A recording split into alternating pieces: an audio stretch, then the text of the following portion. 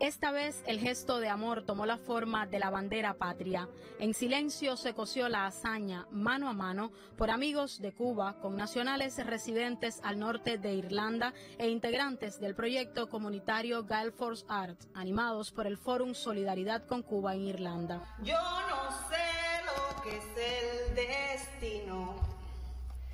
Caminando fui lo que fui. Ay, Dios, ¿qué será? Divino,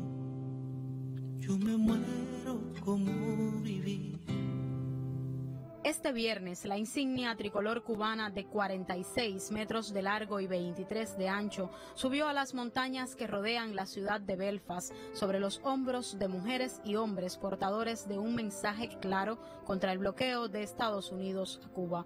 Va dirigida al jefe de la Casa Blanca, quien asiste a la cumbre del G7. Exigen el cumplimiento de sus promesas electorales y el fin de la hostilidad política y la persecución de Washington para asfixiar a quienes viven viven en el archipiélago.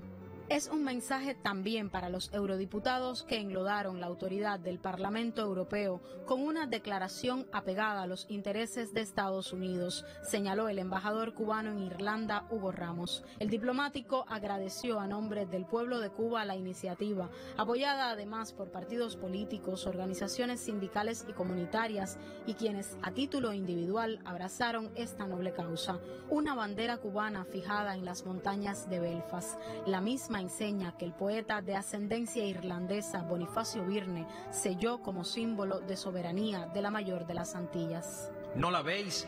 Mi bandera es aquella que no ha sido jamás mercenaria y en la cual resplandece una estrella con más luz cuanto más solitaria.